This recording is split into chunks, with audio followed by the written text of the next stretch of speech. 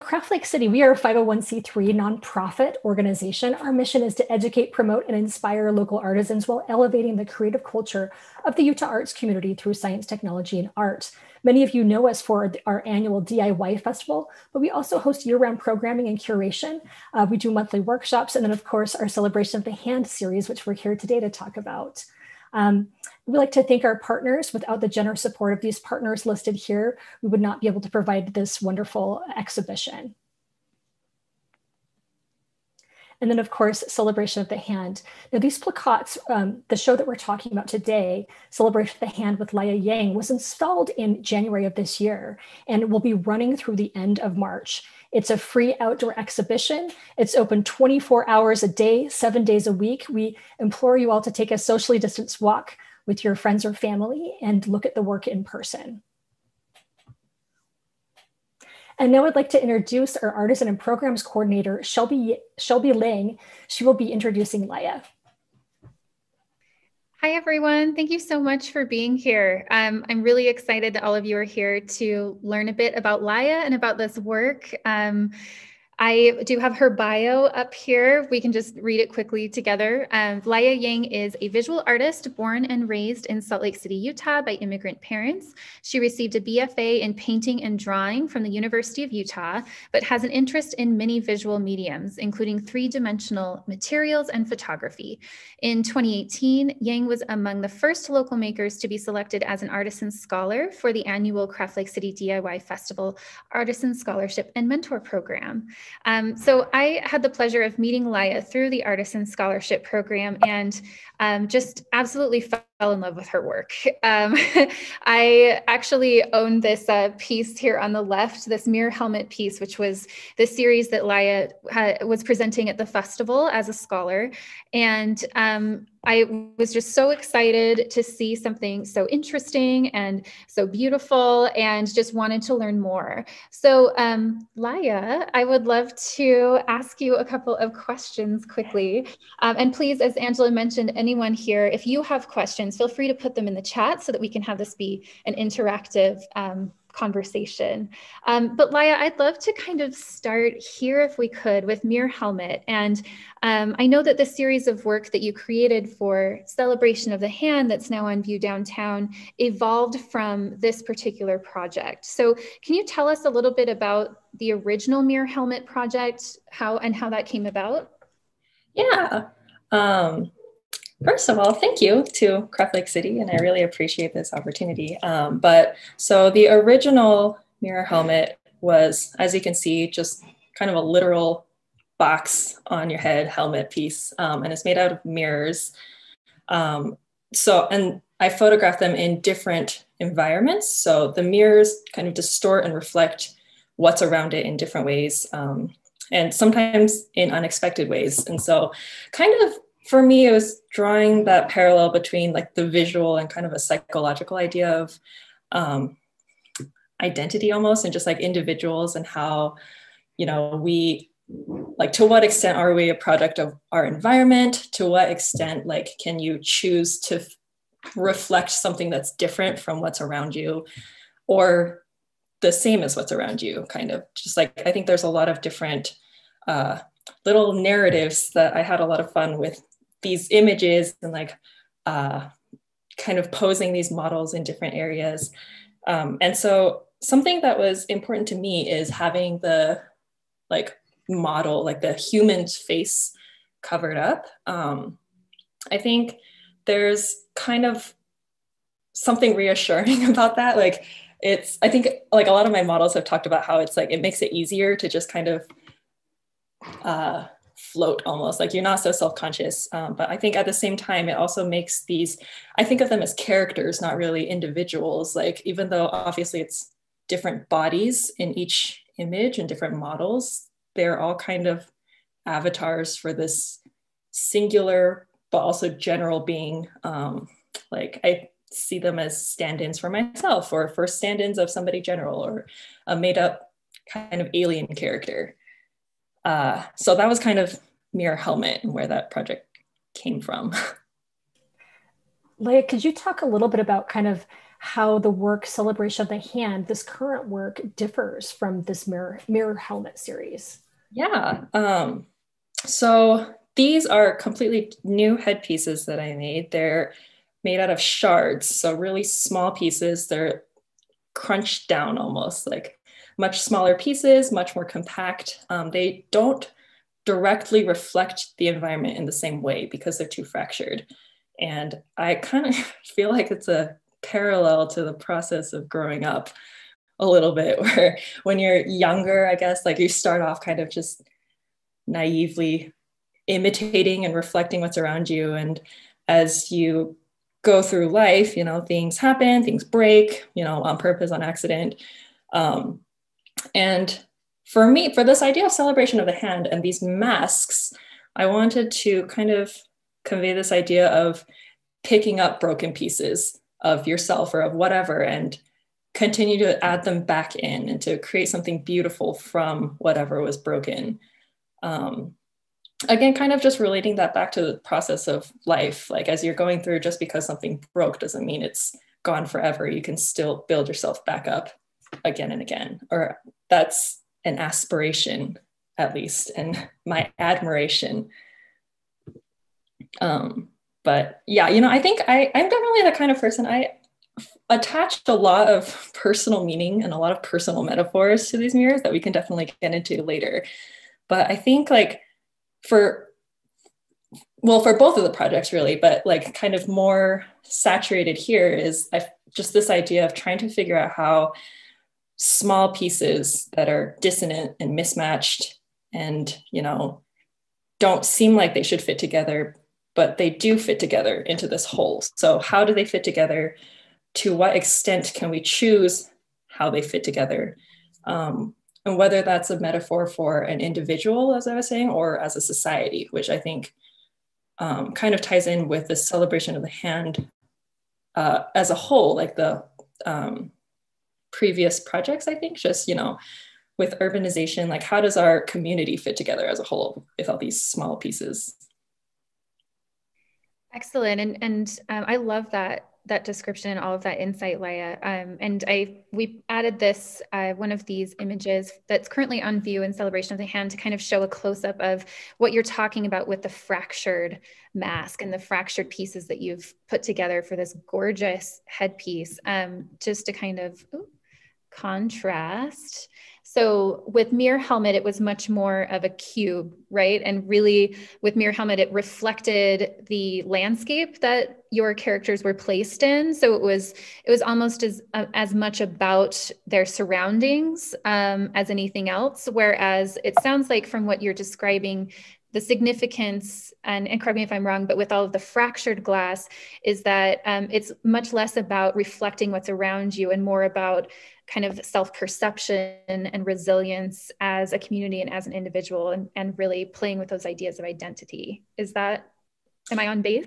Yeah, absolutely. And i think you know the cool thing is like that's not like I think so many people will just like tell me what they see in these images, and I'll be like, yeah, yeah, that's exactly. Uh, I didn't think of that, but yes. Um, but also, yeah, I think exactly what you said. Like rather than having the focus be on both surrounding and individuals, kind of focusing in the into the individual, whatever, like collective or individual, individual. That's great. Um, you know, you have such a diverse set of landscapes in your work. Um, some of these photographs are set against a busy city background, while others are in this kind of serene, natural setting. How did you choose the settings for these photos in this series, and what role does landscape play in this project? Yeah, um, I really, for this project, I, you know, just wanted it to be a celebration of Salt Lake. You know, I was born and raised here. I still live here. It's my home. I love Salt Lake um, and kind of the surrounding landscape. Um, so for I definitely wanted to incorporate um, both man-made structures and um, kind of the natural landscape, I guess that uh, because for me personally, I think that, uh, and I'm sure a lot of people who live in Utah, like the natural um, you know, desert is definitely a big part of my mental image of home and what home means in Utah. Um, kind of losing track of what I said, I guess. So I wanted to just, yeah, be a celebration of that um, and have a range. So originally I was thinking like, oh, it could be all of Utah. And I, but then I think with the pandemic, I was like, I'm not driving more than two hours. Like me and my models have to take separate cars. I'm not paying for two cars worth of gas for more than two hours away. So that did bring the focus down into like Salt Lake a little bit. Um, so, you know, I, but I think like that's kind of the idea is it's, it's not just one or the other. It's definitely a combination of indoor and outdoor and like man-made and natural structures. Like all of these do fit together with me and with all of us to create our community and our home. And I remember one of the things we talked about. Um, we were just talking before we went live with everyone about how we we began this conversation about a year ago. And I remember in that initial conversation, Lya, you were talking a lot about kind of uh, the contradictions that you find um, both within yourself and your own identity, and then also the contradictions that exist within Salt Lake City. Um, and can you talk a little bit about that, about kind of that, um, those conflicting qualities? Yeah, sorry, really quick. I just got a text from my friend who says they need to be let in. Is that? Oh, let me go and make sure. Is that a thing? Go. Oh, okay. Perfect. Cool.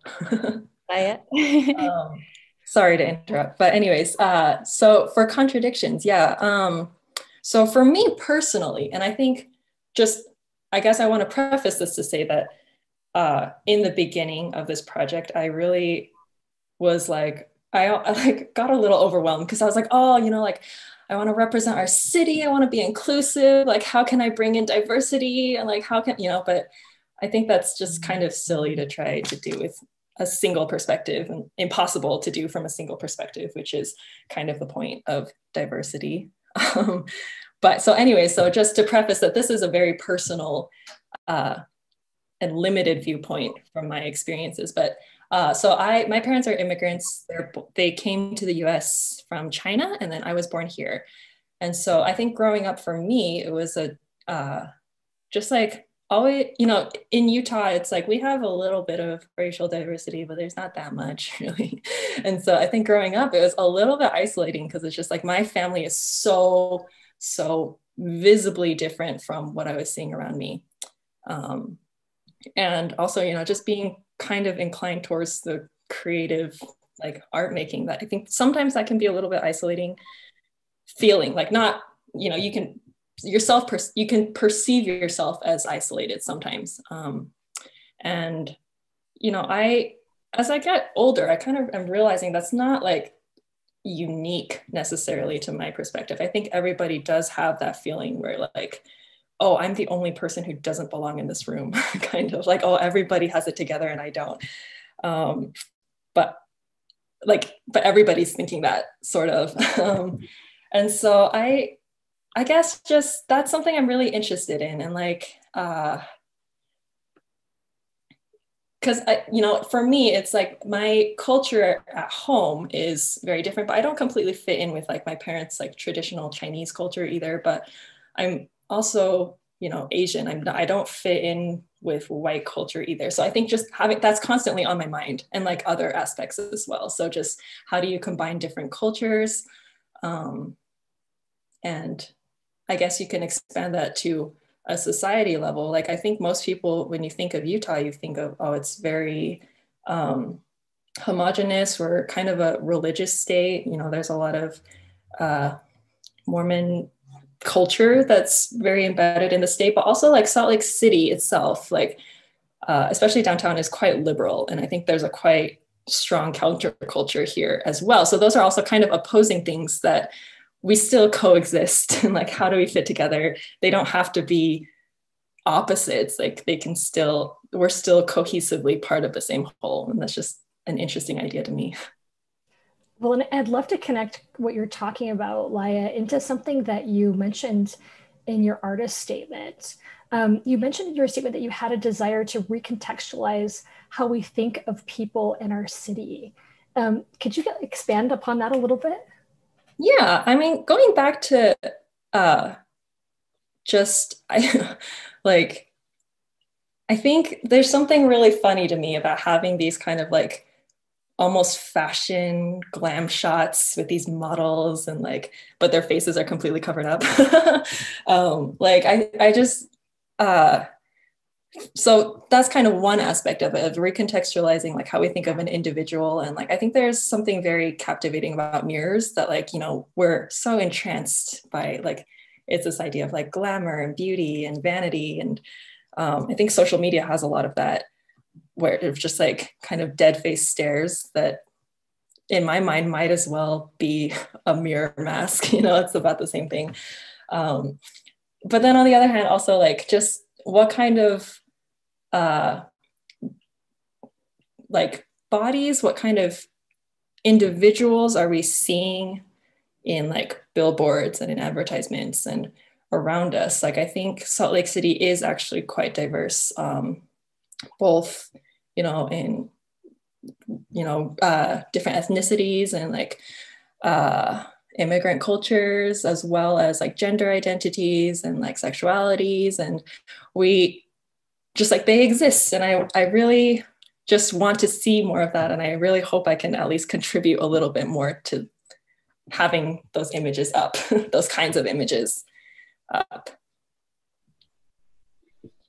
That's fantastic. And um yeah i love i love hearing more about that idea of recontextualizing how we see people in the place we live in. Um, and and i think that your work does do that. So thank you for for creating it and sharing it in this way. And i i also am interested in learning a bit about um i know that when when we first met um i learned that you had a background in painting and drawing and then you also had created these like incredible sculptures. I think you had some like public sculpture that was on view up at the University of Utah, and um, you work in all of these different mediums. So I'm I would love to hear a little bit about what motivated you to approach this project through the lens of photography and also you created these mirror masks as well so they're kind of wearable sculptures but what was the motivation behind that yeah, so uh, yeah, I went to the U and I was a painting and drawing major. I was there for five years studying painting and drawing and promptly left all that behind when I graduated,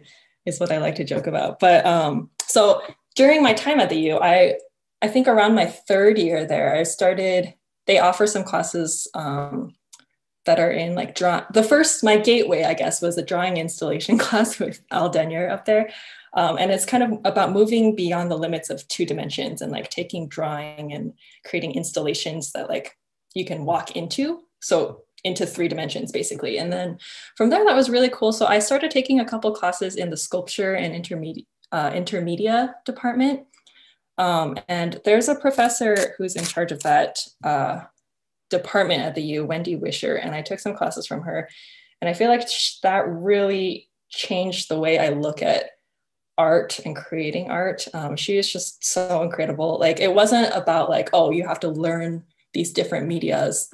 I think one of the things that I really learned, things that I really learned from her was just to have a concept and you know come up with something that you want to create and then choose the medium that fits that concept that can serve as the best vehicle to push that concept rather than trying to come up with an idea that fits into whatever medium you make um, obviously there's value to both but i really enjoy that idea and i think it was really freeing to me just to i feel like i had all these like weird self-imposed limitations where it's like oh i have to be a painter or like oh i can't do that. It's you know it's too abstract or it's too oh i can't work in this medium. I don't know how. Like i think it really opened up my world to like oh if i want to do something i just need to figure out what the best way of conveying this idea is and then I can figure out the media as like I can figure out the how as I go along if I can just figure out what I want to do first. Um, so that was, yeah, it was just very liberating to me. So I went from uh, painting to sculpture, and then one of the projects, the mirror helmet, actually first started at my very last semester for a project at the U. Um, and I think it started off as kind of more of a performance piece. That was at least my intention, but I think it just sorry, can you hear that? They're doing construction next door. Um, so yeah, the photography medium just made it so much easier to uh, convey what was happening, you know, to a wider audience. And then it just became so fun. Like it's with mirrors, it's, I'm so sorry. can you, is that disruptive? You're fine. It's, it's, we're all, you know, working from home. You're good. oh okay. Um, so the photography medium, I think, with mirrors, there's so much possibility for colors and it's so quick. Like I can take a model with me to a location and you know shoot you know 200 photographs and then we can go home and i can slowly work through them and pick one or two you know i think there's something really again liberating about the medium there where you can just and i honestly don't consider myself a photographer it's something i also need to uh, do an asterisk. Like i don't i think i still have a lot to learn about photography as a medium and i don't think my work i don't know that it would fit into like photography as a genre of art really. So I, I feel a little more comfortable calling it just visual art rather than saying i'm a photographer because i just don't think my skills there are up to par from what a photographer might expect but yeah i just enjoy it's a it's a great visual media to convey what i convey ideas efficiently Well, you do a fantastic job conveying your ideas through photography. So thank you for that. And thanks for sharing that story about your university experience. Um, are there any other like very impactful experiences um, that you'd like to share about kind of building your career as an artist? Um, you know, I think I'm still struggling. um, I, you know, it's, uh, I think especially once graduating from art school essentially it's just like oh shoot well now what? Um, but you know for actually craft lake city and the diy festival was quite impactful for me. Um, just the experience of uh, being because that being in a festival and presenting your work in like a marketplace setting is very different from like fine art and like art galleries. You know it's a very different experience. It's a very different process in preparation as well.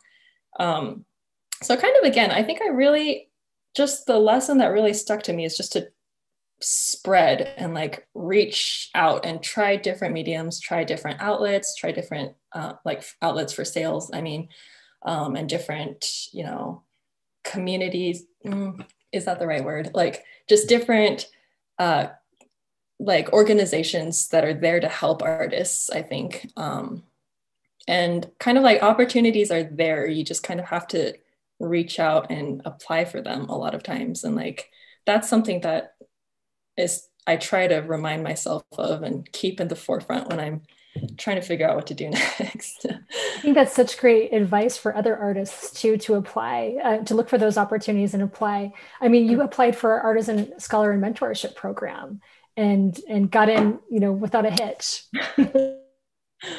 I'm very surprised and very honored about that. Uh, how, how did the, that pro, did that program impact you in any way?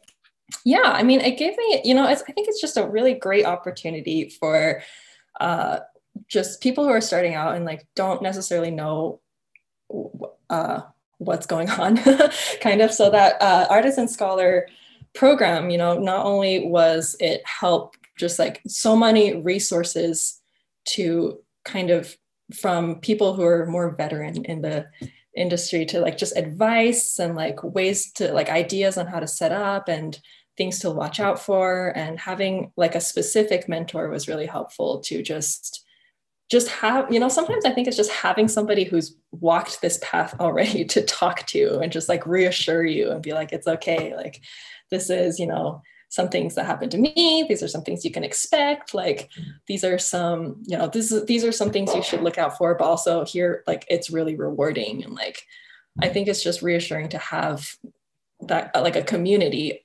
in the area that you want to go for that i think sometimes i think because so many artists are self-employed um, so it's not like we have that kind of like oh big company that you can climb the ladder on like there's not really a corporate like an art corporation for all artists. So it's really good to just have that kind of community and mentorship, I think was really great. Awesome. I love hearing that. I think um, it's always good to learn what what has worked for artists and for other emerging artists what you know they should be doing to uh, sort of get that support. So yeah thank you for sharing all of that. Um, and I, I have i have another question for you. So uh, when we first met we talked a little bit about the idea behind the celebration of the hand project series in general. And um, it's largely informed by uh, ideas from Jane Jacobs, who was an activist in New York City and that really championed um, self organized urbanism and um, believed very passionately that cities should be designed by and for the people who actually live in them. And so, through these, we call them plakats, uh, with a German word for poster, through these um, frames on the street that we use to display this work, um, we really believe that artists are an important part of that equation. And so I I just want to hear a little bit about your thoughts on what you think um, the play, what role artists should be playing in their cityscapes.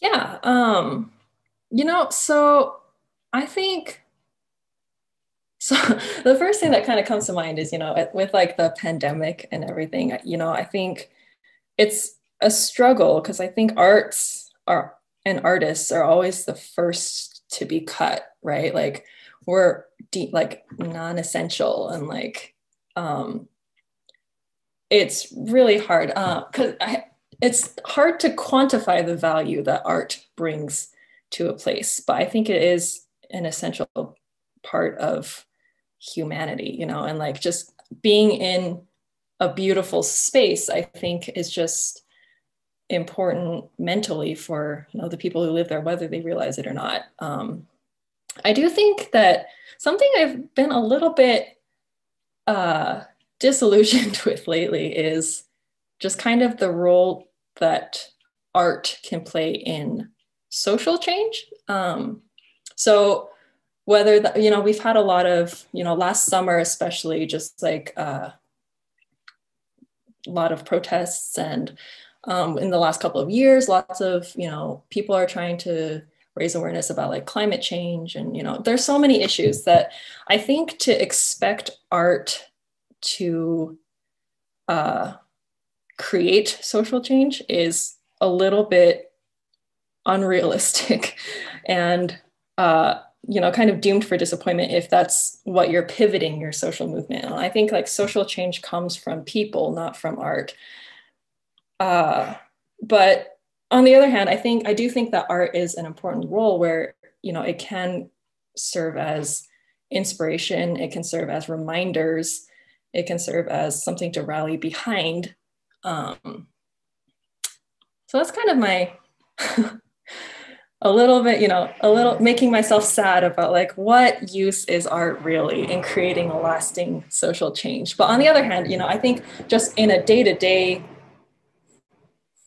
sorry, uh, in a day to day manner. I think art is really important in cities. And I think that to have something, you know, I think the value of like fine art and custom art is that it's not like just generic, it has like a spirit and it has the soul and it brings life to the city. And I think it can make people think or maybe not maybe it's just aesthetic but either way i think just have visual stimuli around you is vital to keeping the population like aware and present and yeah. Thank you Lya let's talk about your the specific piece that we're looking at right now give. So you know several of your pieces a part of this celebration of handwork are designed in pairs. Um, this piece give was intentionally placed next to another piece called take could you talk just a little bit about why you created that specific pairing and how they kind of work together? I'm so sorry. I'm actually going to move into my bedroom because this is ridiculously loud. Um, but yeah, so this actually, this pairing was one that I was really, really excited about. Um, and it's one that I, I think um, had a mental image of very early on in the process. It was one of the first pieces that I drew a thumbnail for. Sorry, you can see all my dirty hanging laundry. Um, so I, you know, one of the key keywords I guess I had for this piece was this idea of wingspan. Um, and I'm not Christian, but it just kind of thinking about that word like uh, brings up connotations of like angels, of flight, um, controlled falling. I wanted something that conveys like the simultaneous weightlessness but strength at the same time and the duality between strength and weakness and tenderness um, and so i also really wanted this pairing specifically to be very expressive um, just because i think you'll notice with a lot of the other ones they're the figures are pretty motionless. Like as i said earlier they're meant to serve more as avatars than uh, expression like ex- what am I trying to say? Like just they're not necessarily the body itself is not meant to be what you're looking at. But in this case, I did want to have movement. Um, so uh, I actually so the model in Give is actually John Kim. He's a dancer for RDT, the Repertory Dance Theater, and I'm so thankful that he agreed to work with me in the middle of a pandemic. Um, and was just incredible to work with a performer, you know, people who are used to being looked at and want to be photographed, I think is a big, uh, it, it made a big difference. But, um, well, and I, th- I think you can really tell that that's a dancer in that photograph. I mean, just the way their body is moving, they really convey all of those ideas that you were talking about that you were looking for. Yeah. And um, I think like another kind of aspect that was kind of important to me was this idea of uh not really an idea, but just to have like an ambiguous gender, I guess. So sorry, I'm, I'm so sorry. uh, so I wanted kind of so another thing is the first time I met him, I like took a look at him and I was like, oh my God, I think I just found an alternate universe of myself. Like we're wearing the same glasses, we have the same haircut. Like I I'm so vain. but you know, it was really cool. So we we shot a lot of stuff. I talked to him a lot about kind of what I had in mind, but I wanted to leave it up to him because I think he would know better than me, like how to express his body. Um, but again, thinking about just like the key word was wingspan. and so I chose this image out of the set specifically because I think it just, to me, really embodies this like spirit of generosity almost. Like it's, you know, like I just have this mental narrative of like just giving, of selflessness, uh, bordering almost into sacrifice, which uh, is another concept I think about quite often with my parents and uh, just growing like what does the word like what is worth sacrificing? Um, and i think with this concept of giving i think it's not about giving until you have nothing left and i think that's really important to me. Um, because I think, you know, especially a lot of em- empathetic people have that issue where, you know, you give and give and give and give, and you're kind of left with nothing for yourself. So I think I really wanted to embody like strength and like developing a certain degree of flexibility within yourself before you have the strength to help others and to lift them with you rather than deplete yourself.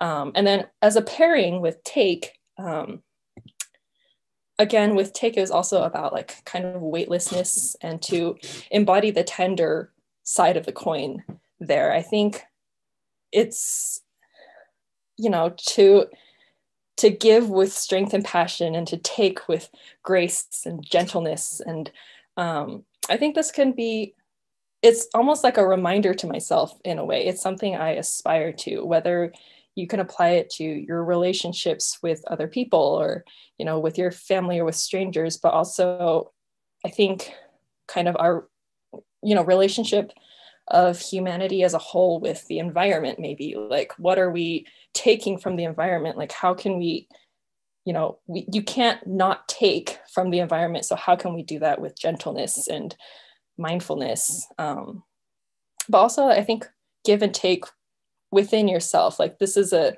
two sides of the same coin within yourself too like how can you balance uh, fire and tenderness? Um, yeah i think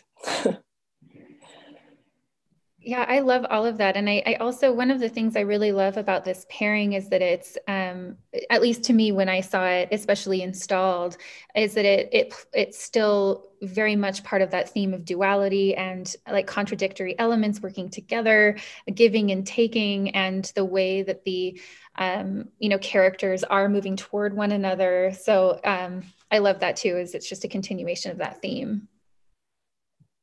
Thank you. Um, yeah, Bloom. Are we? Did you have a question, or should I just jump into it? This is one yeah, of my. I do. Yeah, but I want to hear what you what you have to say first. so okay, well, so I guess another thing was so there are 14 placards total, and uh, they're kind of divided into groups in the way that just the streets that they're laid out on, and so I really wanted to take that into consideration when I was laying these out. Um, and it's, it's not necessarily important to me for other people to notice but the, for me just to organize my thoughts and to kind of become a source um, and just to like to narrow down all the images that i had i was i really wanted to have them organized into subgroups so like give and take was one subgroup um, this one bloom is part of a row of five and so I was just like, five perfect colors of the rainbow. It's a personal pride rainbow. Um, and it, again, not super important, just like a fun fact, I guess. Um, so I think for this grouping of five, all of them are kind of more straightforward. Again, just like building yourself up, moving past trauma, um, taking things that break you, things that, you know, are kind of difficult situations and uh, trying to create something beautiful with those sharp edges and not letting it just break you um, is not easy. and I think it's difficult to say that that should be an expectation, but again, an aspiration, a reminder to myself. Um, and, you know, I th- also kind of as a side tangent, um, I think for a lot of us who are in the creative fields and art fields can really relate to just, you know, creativity, I think is uh, you know creativity builds resilience. And like i think a lot of people turned to creative outlets to move past kind of dark dark times. Um so anyway so for this image uh oh well another aspect of like just mirrors it's kind of fun you know like a pun on words of like what do you reflect on like uh, what do you choose to surround yourself with? Um i think you can have this whole like discussion about human behavior and is it nature or nurture uh, and you know obviously it's some combination of both. But as adults i think we have more of an ability to move ourselves in, ideally um, to change your environment to choose what you're surrounding yourself with. Um, so with this image i just have this like mental narrative of, of like hey guys like what are you looking at? I want to see too. Like, I, you know, I want to see what you're seeing and like, I want to be like you. So just this figure who's like almost alien. It's a little bit weird. Like, they're like trying to blend in and become the sunflower, and they're clearly not, but that's okay. Like, there's something I really just enjoy the earnestness in the awkwardness. And like, it's awkward, it's kind of weird, but it's okay. Like, it's going to be great you're trying trying is what matters. Um, and kind of going again what we talked about in the beginning like you know that feeling of not belonging. Like i think at some point you kind of have to move on from just being so self-conscious of not belonging and sort of embrace that like you know it's i don't fit in here but that's okay. Like it doesn't really matter. I'm trying to learn from other people and kind of imitate the good traits that I see around me um, and incorporate them into myself in spite of all the experiences that I've had that maybe are trying to prevent that. Um, and, you know, for sunflowers, I think the symbolism there is just, you know, adoration, uh, joy, warmth, sunlight. Uh, I, I really like plants. I'm really obsessed with house plants. And I think just being with plant, like there's a lot of a lot of life lessons to be learned from raising plants and just learning about patience and beauty and all, like finding peace and all that. Death, overcoming death of houseplants. I'm sorry. Yeah. That's something I, I have to work with. yeah, I, I love that, Lya. It's um just the significance of the symbolism of the sunflower being resilient and hopeful and um, i yeah thank you for for explaining all of that you're welcome i'm sorry i have to keep moving around but i think they stopped the construction Oh, you're fine. No, I, I love this piece as well. I think um, walking along, if if all of you here haven't been able to take a walk. This is near Squatters um, on Third South, and uh, it is such a, a, beautiful, hopeful, happy piece. So I love hearing your story behind it. Um, one thing too, we we were hoping to talk a little bit about this piece, Apollo, and um, when we were putting the uh, exhibition together with you, I noticed that you, uh, the titles that you selected for the work were really interesting. And there are um, a handful of them that are named after uh, Greek gods and Greek mythology. Can you talk a little bit about what inspired you um, to, to name them in that manner? Yeah. And this is something else that I kind of picked up on in sculpture from Wendy Wischer.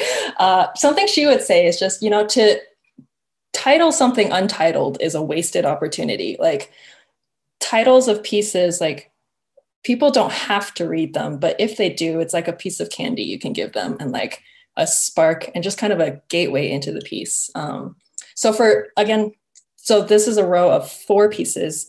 They're all like on the same street and I named them after Greek gods. It wasn't really intentional at first. Like I didn't, at first I was just like, oh, how do these pieces fit together? There's like maybe an elemental theme. Like I really want my models to be like gender non-conforming, non-binary gender like expression.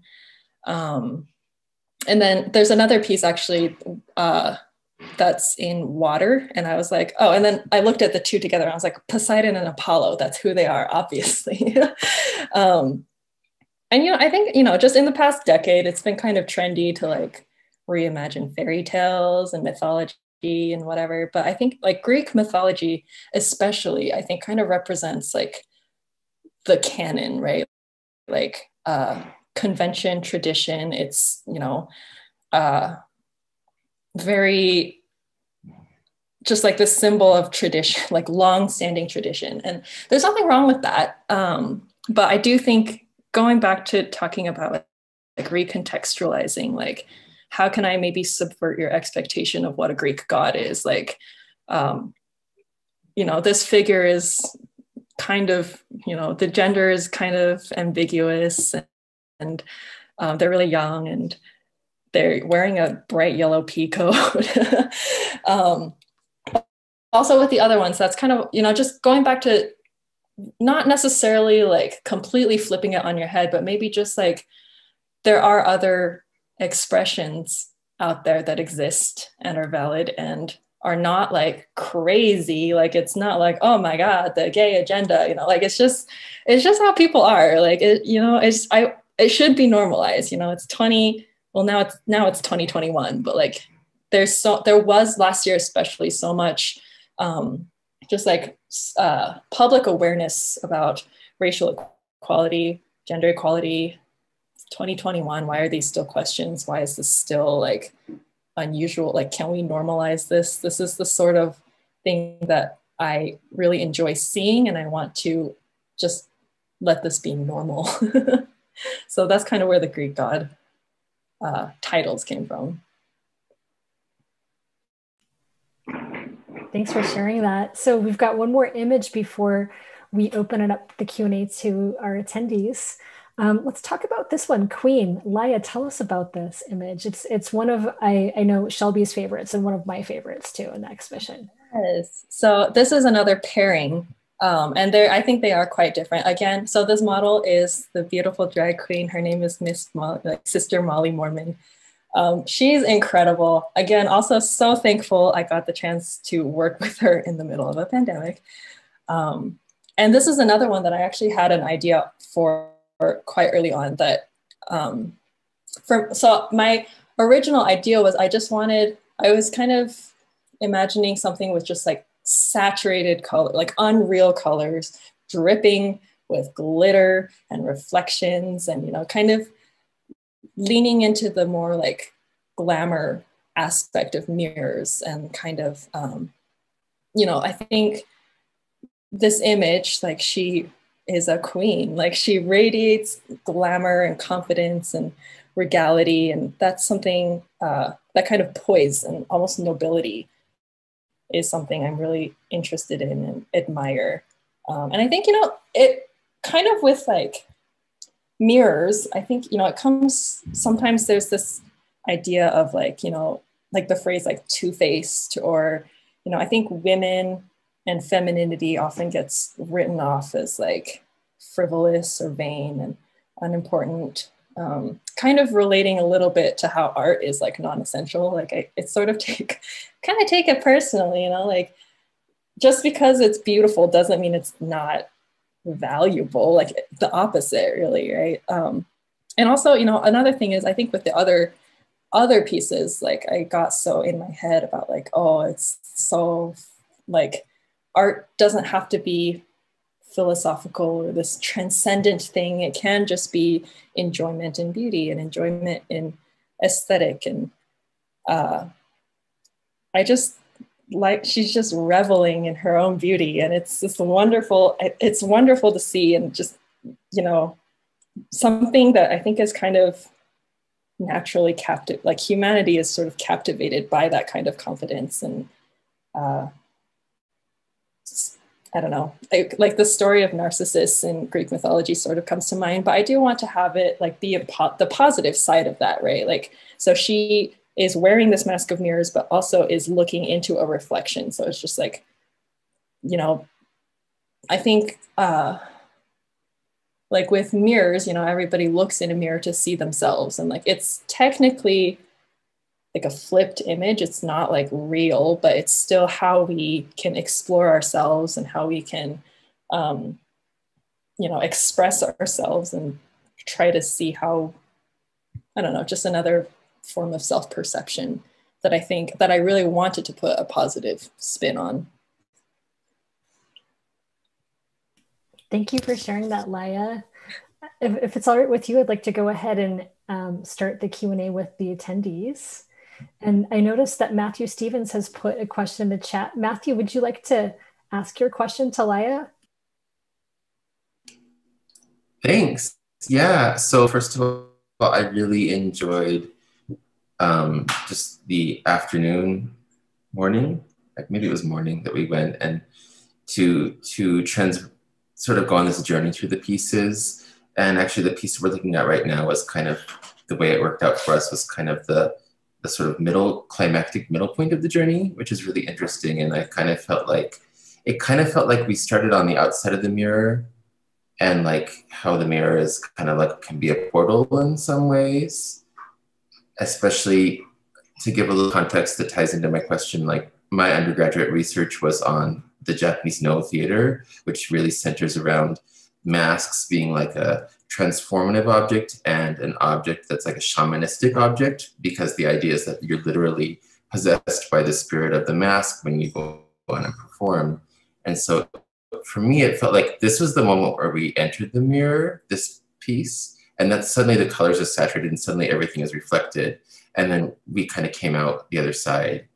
And um, that was really interesting. But um, and it was also interesting for me to hear that you referred to like putting the pieces back together because, as some people will know, I have a very deep love for the art of Yoko Ono, and it reminded me of her piece, um, Mend piece, where it was about mending things and putting them back together and the value of of of that as you put that inspiration. But anyway, I was just curious because I look at the mirror and look at the mask as this sort of like shamanistic or transformative object. And I'm just wondering if you could tell like a little bit about what the role was because it's between us and the model and it, it kind of between the model and the environment. And so how is this, uh, what was, can you tell just a little more about what the mask is doing in there? Yeah, I actually really love the way you put that. And it's not something again, just like, wow, people are, there are so many smart people who are more eloquent than I am. Like that's a, I completely agree. I think like that definitely fits with the way I view the work of this like ritualistic, like you put it on and become something else. And so the the masks are solid. Like the person wearing them can't see past them. Um, and so I think that kind of uh, fits in with what you were talking about with like you, you know, you're when you put these on, like the person wearing them is no longer just themselves. They kind of become this character. Uh, and there's something I think about having one of your senses obscured that is just like kind of liberating, where it's like, well, I'm not myself, so I can, you know, be a little bit more free and I don't know, you know. um, again, like I, I kind of think of these like the mask is almost like a connection between myself and this other individual wearing it. Like they're no longer separate. Um, I, you know, obviously I'm not like posing them, but in my mind, like they're becoming kind of an extension of myself and what I'm seeing, but also they, it's not just me, it's also them. And then I think uh, the viewer and then like the other leg of this triangle is the viewer of like what looking at this image like what do you see? Like what are what connections are you making? Like how can you i really like what you said about how you're kind of entering the image um, and you know while I, I really hope that you know people can find deeper meaning in my work i guess it's really important to me to have that deeper source and have it be meaningful to me personally. But honestly, if somebody can just find aesthetic enjoyment in them, that's already like awesome. but if you can find a deeper connection, that's even more awesome. Like that is the thing that I'm striving for, hopefully. Does that answer your question? I'm not sure. yeah, yeah, thank you. And I guess I would just add that because this we have this drag performer that's for me in my experience of it happened to be this sort of middle climactic point. It was kind of fun that like what happens with who's waiting for you when you enter the mask? And it's this this delightful drag performer in her moment. And i just felt a little sense of triumph of that. And that then when i came out the other side there was like the sunflowers waiting for us. So yeah. That's anyway thanks that was really nice to go to ask you.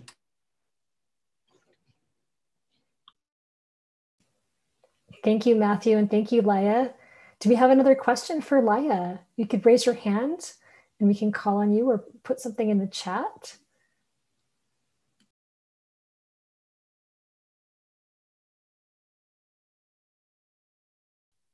I was wondering actually also about the mask because I thought it was really cool how you were talking about how taking like away one sense kind of uh, amplifies the rest. And I was wondering to me, um, especially like earlier, you were talking about how the models felt less self conscious with their face covered. So I was wondering, what role do you think vulnerability plays in your work? Because I see this as incredibly vulnerable stuff, but in a different way, because usually vulnerability means being able to see a person's face.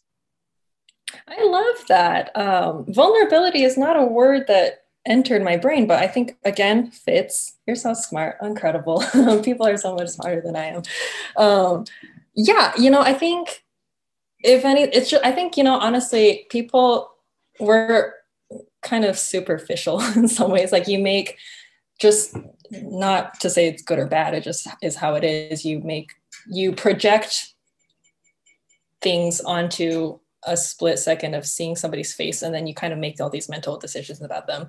And i think the awareness of that is what makes you self-conscious where it's like oh what are people thinking and what kind of snap judgments are they making from me about me based on my you know the way i physically look? Um, and so i think having your face covered up first of all is just taking away that like oh like what weird expressions am i making that people are going to judge me for? Like i think it lets you your brain just kind of move on and like start focusing on other more important things. But also you know i think vulnerability is a really great word um, and you know vulnerability doesn't have to mean weakness. Like i think there's this uh, kind of idea that like oh to show your vulnerability means to show you at your lowest point you know like that's i think to kind of going back to this idea of trying to make something beautiful from jagged sharp pieces is just not letting difficult situations harden you and close you off and to stay open to stay compassionate. I think that's really hard you know? Like the older you get the harder it is. And uh, it's difficult to not be jaded. So vulnerability i think that's a I'm really stuck on that word. That's a great word. Um, to to try like to not focus on your face to not focus on the physical top layer of things and to try to see beyond that and to try to feel more of a connection rather than just to make a snap judgment and throw on a facade i think is uh, something i think about a lot and quite important to me. Thank you. Thank you. Thanks alexis. Thanks Lya so I think we have time for one more question. Is anyone else in the part of the group have something for Lya? A comment or a question about, about her work?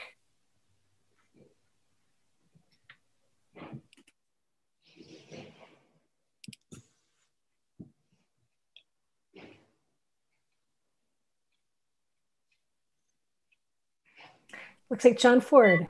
I'll go. Um, when I first saw these, like I kind of interpreted each of the each of the pieces as the person hiding themselves away, like essentially just showing society what it wants to see by literally reflecting society back to itself and hiding them true selves away from from everyone and everything. Is that was that worked into any of the decision processes of these pieces?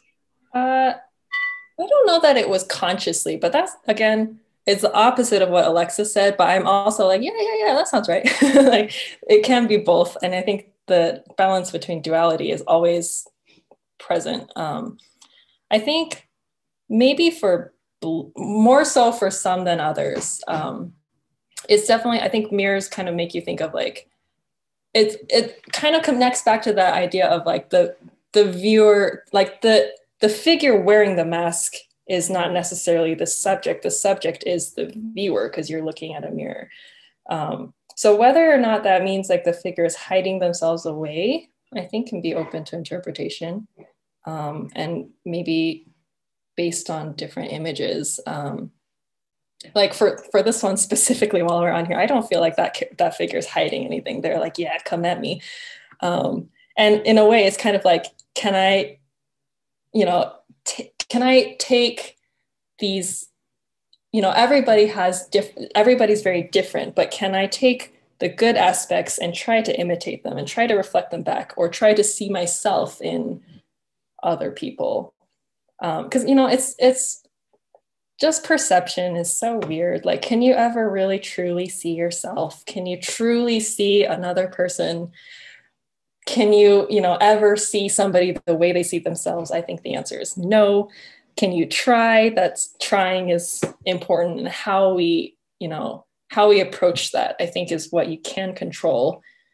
And you know i feel like i'm getting really preachy. Like this isn't like meant i think this is I, i'm very idealistic and i think i'm very i think some of my ideas are a little bit naive at times. Like it, this is more of like a philosophical question rather than like a practical like advice necessarily of how the world needs to be. But i do think that you know whether you place yourself as a viewer whether you place yourself separated looking at the image trying to find a reflection or if you can place yourself as the figure that the image is of uh, both are valid and important. I think just whatever whatever you need to, to see and kind of wishy-washy on that answer.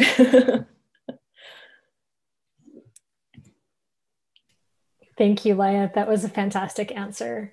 And thank you all for being here today. Thank you, Shelby Lang, for um, your interview questions for Lya. And thanks for being here. This was such a fantastic opportunity to engage with you, Lya. Um, for those that haven't had the opportunity to see the show, it's up until the end of March. You can just follow Broadway downtown, which is 300 South between 2nd East and 2nd West, and walk walk the corridor there, and you'll see all 14 pieces by Lya Yang. Any anything to close us out, Lya? Would you like to say any last last regards? Uh, yeah, I mean, just for you know, thank you guys so much. Also, I don't know if anybody, any of them are here, but I really, really want to thank like everybody who was involved in the printing and installation of these placards. Like it was freezing in January when these had to go up. like they worked so hard. I am so appreciative. That's you know, things that go unnoticed. Thank you so much. Um, and I hope something that I really hope that for me, I feel like this was a really great project for me just to self reflect and to kind of uh, verbalize some things that I value and I want to work on and keep in mind in the future. And I hope it's just can remind people about personal agency and the importance of choosing to grow, choosing beauty and, you know, to build rather than just to let things stay the way they are. I think those are perfect words to end this discussion on. Thank you so much. And uh, just want to acknowledge that ZAP here um, has been one of our partners as well, and that this is part of their virtual uh, bingo adventure. So thank you to ZAP for helping to support this project again. Thank you all, and we will see you um, for our next Lunch and Learn in the next few months. And again, don't forget to check out Lya. You can follow her on Instagram and her show will be up through the end of March.